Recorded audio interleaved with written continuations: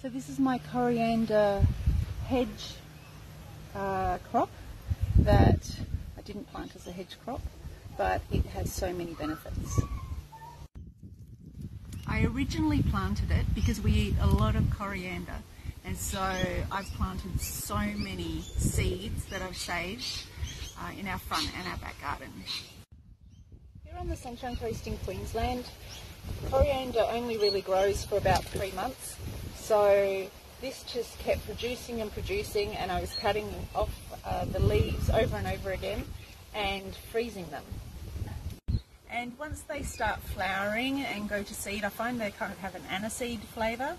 So I've just let them go and they are attracting um, good insects like the common ladybird to the garden.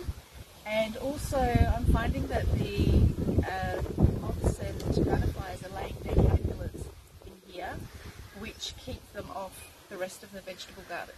So that's been a real benefit.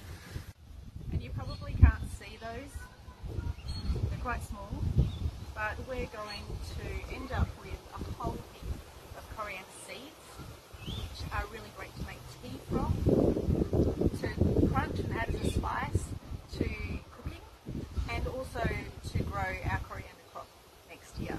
So, so many great reasons to plant an abundant